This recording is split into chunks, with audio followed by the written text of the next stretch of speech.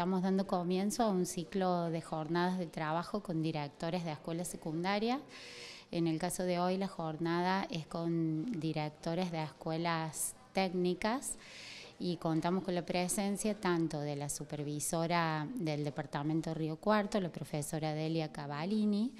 y con la supervisora general de la provincia de Córdoba para el área de educación técnica y profesional,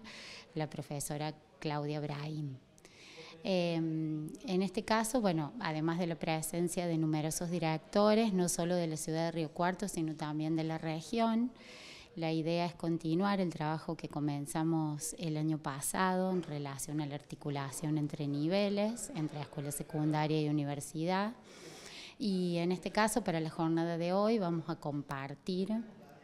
algunos datos de lo que es el perfil de nuestros ingresantes 2024, datos que tienen que ver fundamentalmente con em, las características de escuelas secundarias desde donde estos estudiantes provienen, las localidades de procedencia y numerosa información más que la idea es articular eh, el trabajo con las escuelas.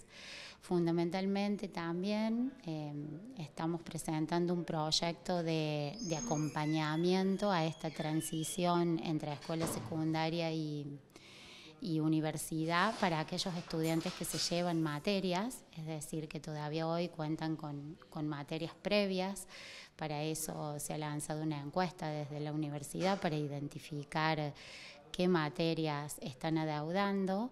para fortalecer ese trabajo y acompañarlos a través de tutorías o de espacios de trabajo y de taller para que puedan rendir sus materias, culminar su etapa de escuela secundaria y continuar con nosotros en, la universidad. Profesora, ¿cómo es la respuesta ante la convocatoria de la Secretaría Académica de los diferentes directivos de las escuelas de nivel medio? Eh, ¿Cuáles son sus intereses? ¿Cuál es la respuesta que se tiene a esta convocatoria?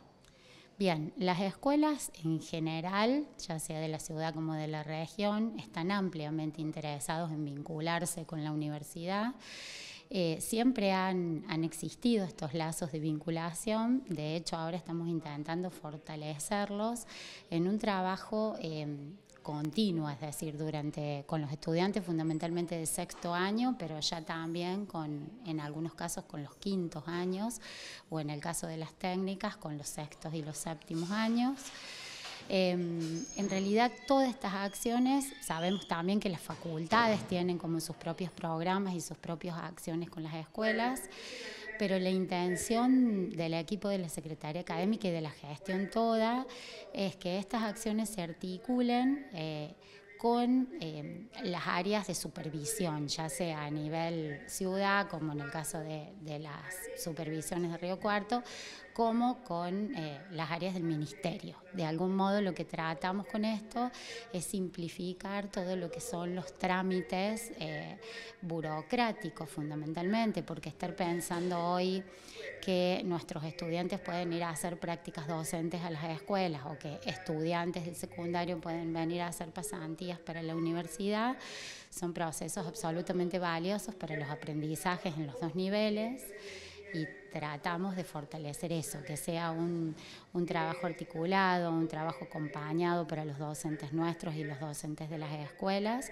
contando con todos los trámites eh, administrativos necesarios y pertinentes para esto de la manera más simple posible.